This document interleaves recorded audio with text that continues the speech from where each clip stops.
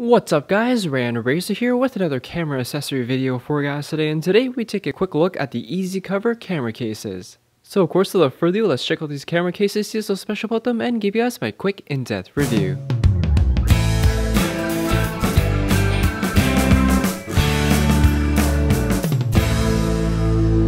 EasyCover was kind enough to send us two different models here, the black model as well as the camo model, and of course they are available in a multitude of different sizes ranging from extra small to extra large. These neoprene bags are certainly a great choice for those of you who have DSLRs and a few lenses that you want to take with you, or if you have a full range of lenses and just want to take a couple without having to drag your entire bag around, this is certainly a great protective choice.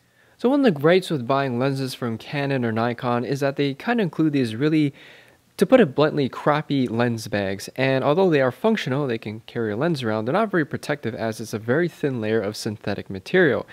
These bags here from EasyCover have a very nice thick layer of neoprene material and certainly are a better choice for protecting your lenses when you're carrying them around as because they're thicker, they can take bumps more and the worst case scenario even drops. So taking a quick overview of these lens bags, not a whole lot to talk about, but it's a pretty simple yet protective design. First off, you have the neoprene material that wraps around the entire circumference of the bag here, as well as the bottom as well as the interior of the bag as well to keep your lens protected and secure in place. You have the EasyCover logo imprinted on the top here, some nylon trim that surrounds the top here as well, and of course you have the strap here to secure your lens in place so it doesn't fall out. The last thing on the back is we do have a clip and a nylon carrying handle that is securely stitched onto the bag itself.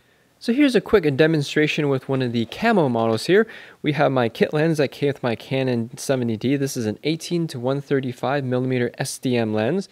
And this particular bag here is their medium model, which should suffice for this particular lens here. It's pretty simple. Just pops in like so. Here we have your strap. Pull it into place. And the strap does have a locking mechanism here so this doesn't fly out again. And as you guys can see here, your lens is protected in a very nice camo neoprene case. For those of you who aren't a fan of the lens a little bit exposed even with the lens cap on, you can upsize to a larger case. This is the large model here for the uh, 18 to 135 millimeter lens that I'm just demonstrating with. If we tug on this, the larger model does completely uh, cover the top of the lens here, so for those of you who are worried about having something a little bit exposed, you can upsize for full coverage. Overall guys, the first impressions on the EasyCover lens cases for your DSLR lenses is pretty positive. They are certainly an inexpensive and great alternative to the included lens cases that may have came with your lenses, but the biggest feature is that they're significantly more protective.